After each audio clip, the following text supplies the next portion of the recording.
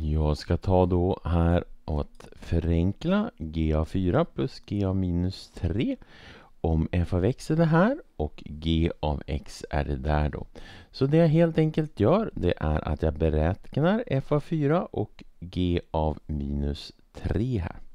Så jag börjar med f av 4. Vad är det för någonting?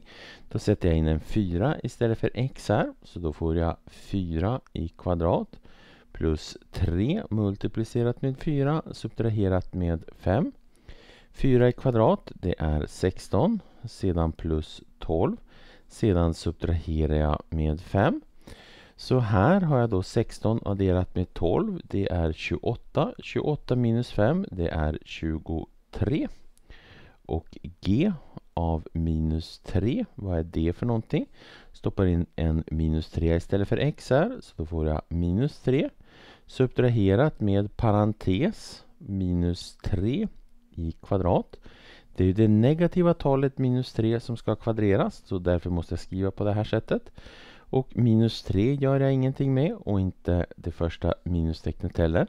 Och så tänker jag minus 3 i kvadrat, det är plus 9. Ett negativt tal multiplicerat med ett negativt tal blir positivt. Så det är därför det blir plus 9 här. Och minustecknet före gör att jag får minus 9. Så minus 3 minus 9, det är minus 12. Så f av 4 plus g av minus 3 blir då 23 adderat med minus 12 sådär.